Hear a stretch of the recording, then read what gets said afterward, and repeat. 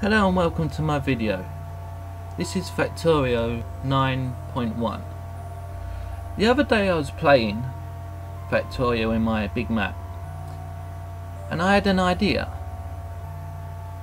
One of the uh, early parts of the game is called tower crawling where you move laser turrets and crawl all over the map in order to kill the biters.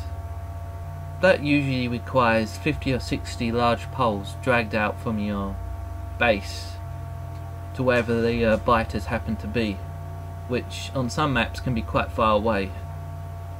Then something else spoke, spoke to me. We have solar panels and accumulators. Can we build a base of power and accumulators in such a way that we can disconnect it from the main base and it to be self-sufficient. So I thought, yeah, that's a, that's actually a good idea. Once I designed and built it, I thought, hmm, I should share this with everybody. So, in doing this, I'm going to show you two things today. I'm going to show you my version of this base. Also, I'll show you how the blueprints work, which is a nice, cool feature of um, Factorio 9.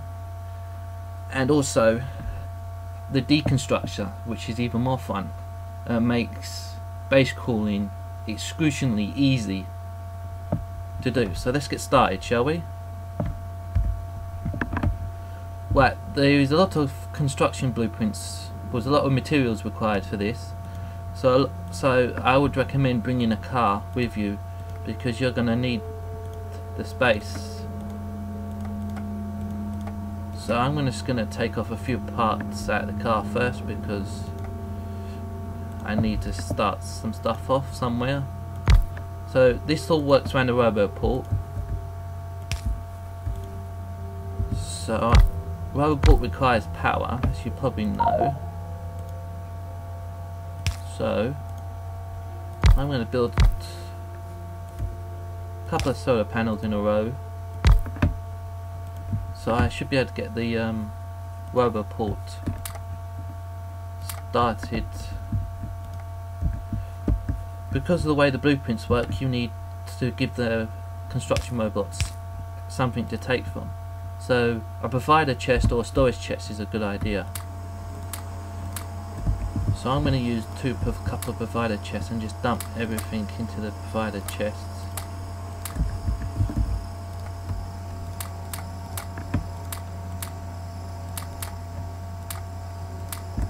everything out the car and then plonk everything inside here remembering to get rid of all the stuff that comes up on your toolbar which can be quite annoying. Right. That's everything in there. And now let's start the base itself is quite big. I broke it up into two blueprints. So I'm going to do the top one first and then I'm going to talk a bit about it. So when you zoom out quite far, notice the Roboport in the middle is actually my anchor point. So this blueprint I just click, watch, and my construction robots will come out, grab stuff from the um, providers, and then start building. Which is a lovely thing to see. This is half of it because the blueprint is so big that it doesn't you can't actually fit it in one blueprint in one go. Let's talk about the blueprint first and the material requirements. So the material requirements for this base is as follows. 822 walls, 453 basic collectors, 135 solar panels, 77 laser turrets, 42 medium poles and 16 substations. And that is a lot of materials. But this is a big base. This base itself can keep the laser turrets on its perimeter plus three or four of my um, sub core bases or whatever you want to call them laser things running all through the night continuously. And yes it does do it The only requirement there is to make sure that before you, once you built the base, you require the um, basic accumulators to um, charge up, which can take a day or so if you're not too careful. As you can see, they're slowly building. One also tip if you want to build something like this is you blueprints allow you to break things up into smaller components. So while they're building, I'll show you the smaller components. If you look here, you see the solar panel subcomponent, which is a um, substation in the middle, solar panels around the edge, and basic accumulators rimming it just to fill up the um, control area for the substation. One tip, don't overlap, don't go outside the area of the substation's field. If you do, the substations won't connect horizontally and vertically together, and then you'd have to put a gap between them and put some other pole in between them, which can not quite optimize the area. So that's that one. Then we have the accumulator subs blueprint, which is basically substation in the middle and accumulators all around the edge. We have the wall sub blueprint, which is literally just a line of wall, a medium tower and two laser turrets.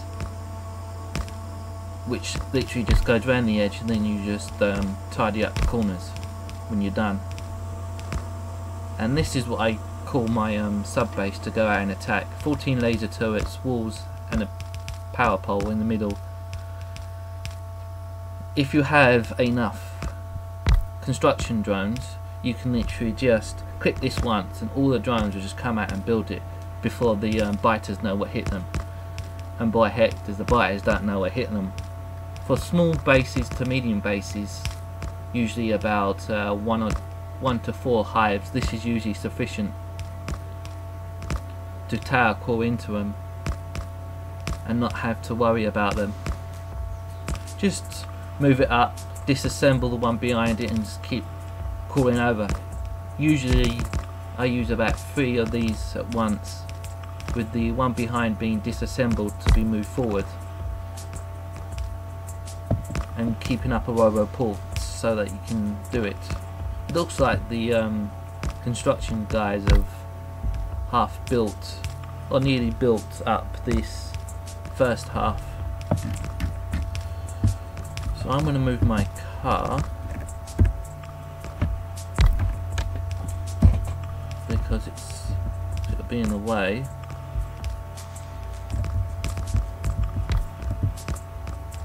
I'm to move it just about here. Since they're pretty much done with that one, I'm to pop the bottom half in. One note is that the um, robo port in the middle is actually the um, linchpin where both of the bases link up. Two things to note about using construction robots is that the green area outside is their maximum construction zone. So they won't build anything outside or disassemble anything outside the green area. One other thing to note is if they disassemble something they'll move it into the storage chest only and the storage chest must be within the orange area of the roboport. If it's outside it won't work. They will just pick it up and hang there in midair which can be quite annoying. One way around it is if you request it in your logistics thing and you also have to be within the orange area. But if you keep a couple of rubber roboports with you, you can pretty much just um, chain them together and pick up the one behind you while moving forwards all the time.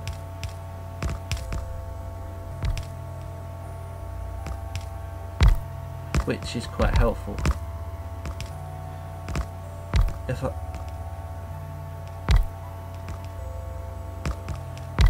so I'm just gonna sit here and watch my minions or robots build up the rest of this base.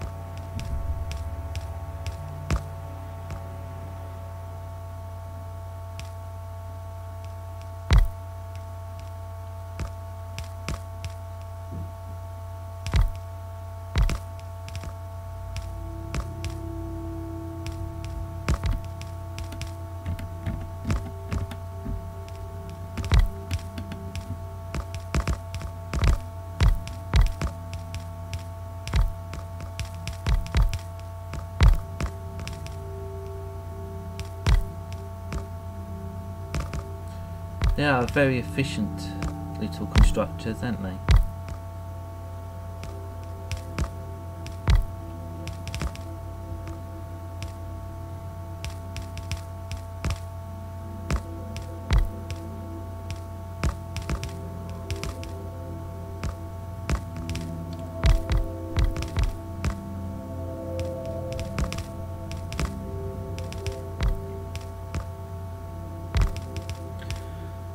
There are 200 odd buildings still to be constructed.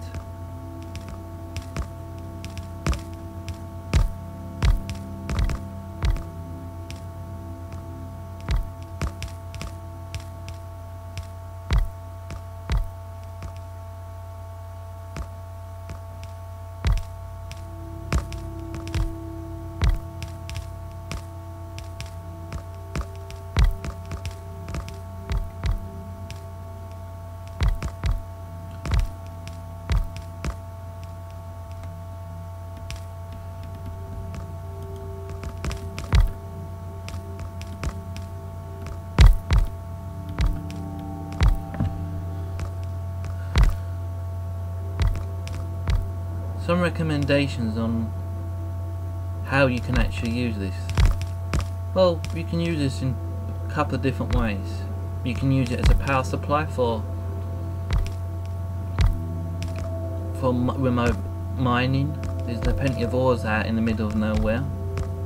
It's a good. It should keep a nice lot of them going after you've finished your um, tower tower harvesting or you can disassemble it and move it to the next point and um, just keep building it around.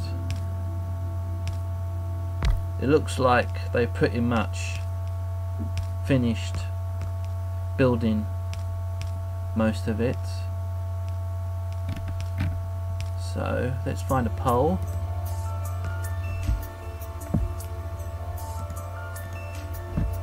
And give you some of the stats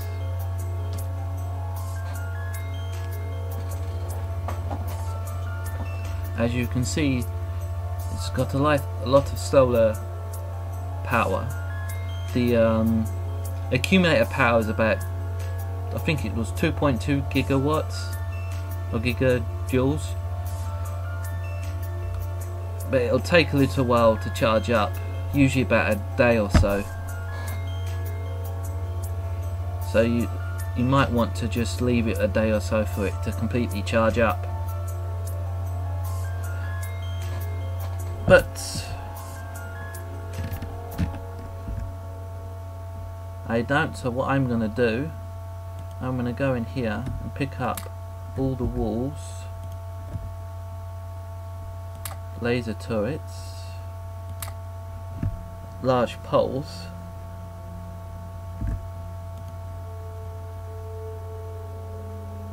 and pick up a few, take a few of these drones out of here just walk of here.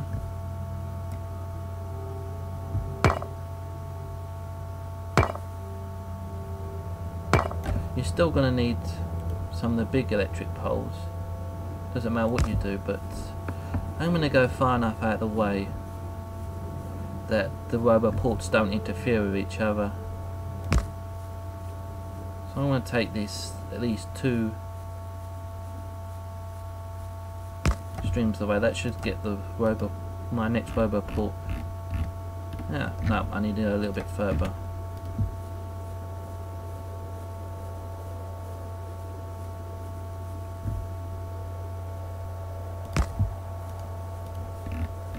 Yeah. That should disconnect. Yeah, that should disconnect them. So when you're going out to attack something, keep this within, say, the green area of what you're attacking, not too close. You still want to put a provider chest down, but you also want to do a storage chest as well. You'll need that for the for the second part. So stick all the walls in, lasers. You want the basic poles. Also, we didn't bring any repair packs. You're gonna need them. Stick the robots in the thing. And then use this tower. Put it somewhere. And then use these other towers to connect it up. And now watch the uh, minions come out and just virtually instantly build it.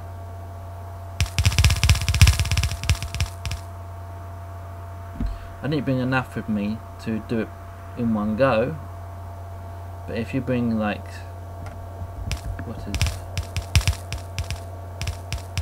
a full thing, they can literally just drop the whole tower down at once. Then once you're finished, you get one of the red ones and simply do that. Which then they disassemble it. Which is also fun if you've got enough they can literally just pick it up. Notice one thing. They are taking it to the storage chest and not the provider chest. If you don't have one they'll they'll just float in the air. Or then you'd have to request it in your logistics system. And then you just build as many of them as you need. Usually about two is usually good enough for what you two or three and then use the back one, disassemble it and chuck it forward. This will usually keep about three of the uh, my size of them running indefinitely as soon as the accumulators have um, juiced up.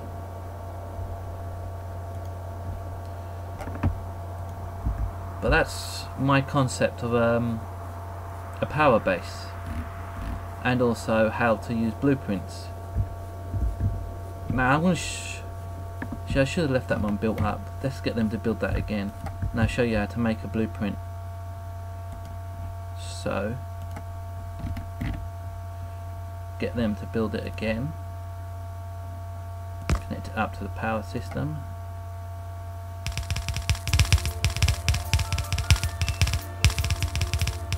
I do like how they do that. Right, to create a blueprint, or the disassembled blueprint, you need advanced circuits. So I happen to have a few. Once you researched the blueprints, you only ever need one destroyer plan, so only build one. You can just build however many you want. So you got a blueprint. Blueprint comes like this. How to use it? You drag the blueprint over the area you wish to copy, all of it shows up green, and here it gives you a blueprint of the uh, thing, and gives you four options of what you want to call as the icon. So you get the blue icon in the back, and then whatever you want. So this one will always be the one which is the most inside. So at the moment that's walls. So then you just click on the blank one and click on whatever you want to call it. Want to look like. So we'll do laser. So now that's the icon, which is pretty much the same as here. The only difference I have added is I've put it one of these in like that, denoting it was a version 1 for me. But you don't have to put it in if you don't want to. And then you just click this icon here to create it. and then the icon will come up here and you just rinse and repeat as many as you need and this one to cancel it. I'm not I'm not going to do it because I've already got a version of that. But that is my concept of a power-based tower creep system without having to actually um, run large power poles stringing them all the way from your base to wherever it is you're going to kill those pesky biters. So let's go back here.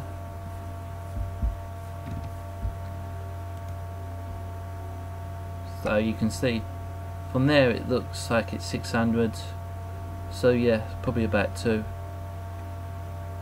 That's, well that's my base. That's my power base. What do you think of it? There's probably other versions. It needs to be this big if not bigger because you need the accumulators to um, power your lasers during the night I suppose there possibly could be a bit more better arrangement of the stuff, but what do you think? What your ideas? Thank you for watching my video on my power base. Thank you and goodbye.